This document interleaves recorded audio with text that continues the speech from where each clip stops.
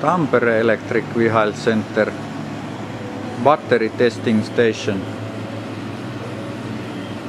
Our 6 kilowatt discharge resistor generating heat with the battery discharging. Battery is going to be tested. Thunder Sky 150 ampere hours LFP our freezer minus 17 degrees Celsius. Some battery uh, single unit battery testing ladders with the resistors. There is currently test in the progress we started about 40 minutes ago 72 pieces of LFP40 cells in the freezer minus 17 discharging them uh, temperature 1 plus 6 current about 30, 30 34 amperes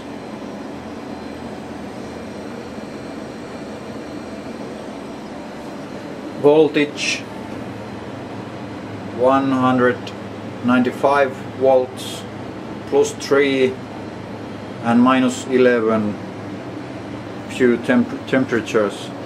BMS status plus 1 volts.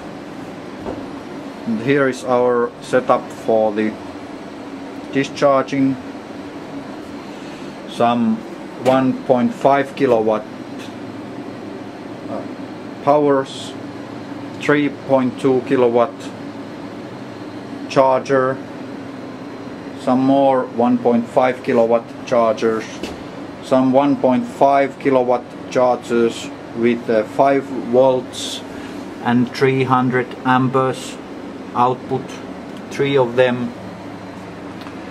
And then real-time graphics for the currently going on the tester. So there is temperature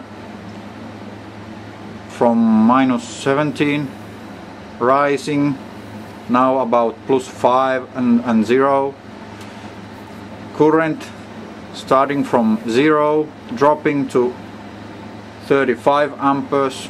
Current voltage slightly less than 250 volts dropping to the about 200 and the graph as you can see is slightly oh, uh, voltage is lower here and it starts to rise as the temperature rises. So the voltage is starting to rise.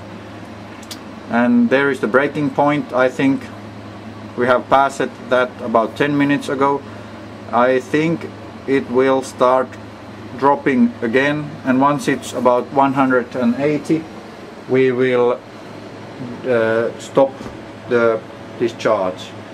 As you can see it's it's 195 100.5 or 0.4 right now. And the BMS is reporting like that. So this is the short video for the Tampere Electric Vehicle Center battery testing station.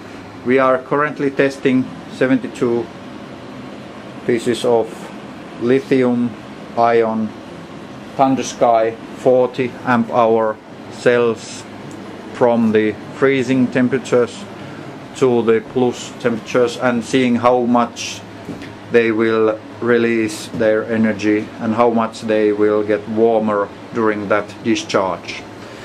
So these are, are our multimeters. They are connected via serial cable to the PC via those serial adapters and there is a PC running Linux, open source uh, uh, operating system with the our open source uh, measurement running on the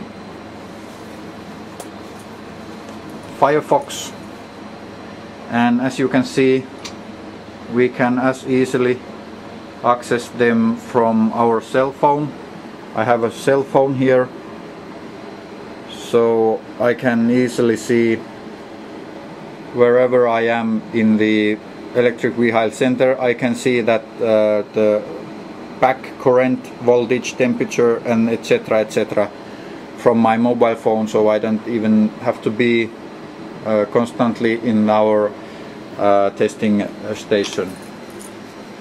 So this is it. Our electric vehicle center uh, battery testing station